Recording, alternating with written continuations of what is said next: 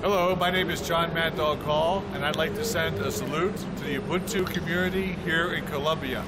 Salute!